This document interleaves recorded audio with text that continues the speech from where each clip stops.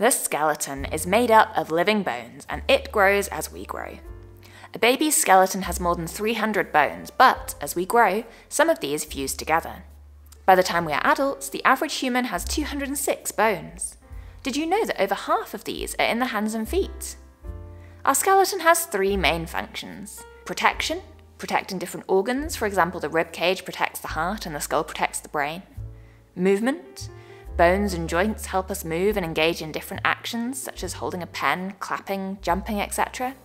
And support, the skeleton keeps the human body upright and enables its shape. Help your children learn all about the human skeleton with these wonderful resources.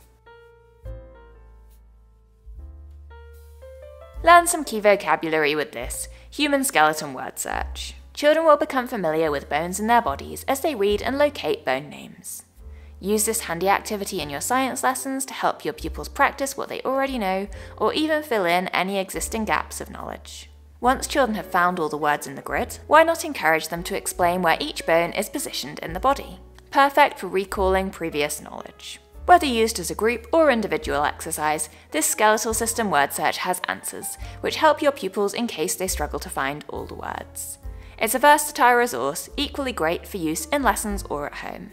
In a similar vein, learn the names of the joints with this joints word search. Joints are parts of the body where two or more bones meet. The joint enables movement of the bones. Use this resource to reinforce the names of joints, the different parts of the human body where joints can be found, and some of the bones that they connect.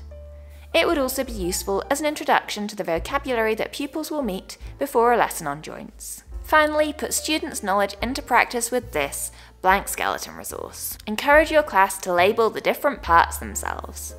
This activity would be great to use as a pre and post assessment at the beginning and end of a unit to see what children have learnt, or children could keep it with them throughout their learning, adding labels as they go.